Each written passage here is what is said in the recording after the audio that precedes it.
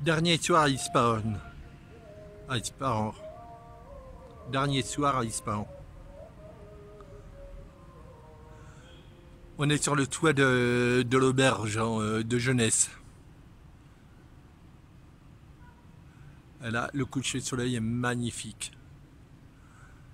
Vu sur les euh, monuments historiques de la ville.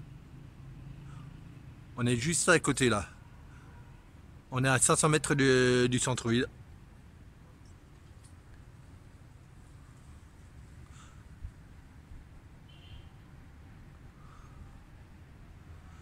Et demain soir, on sera à l'aéroport, à Téhéran.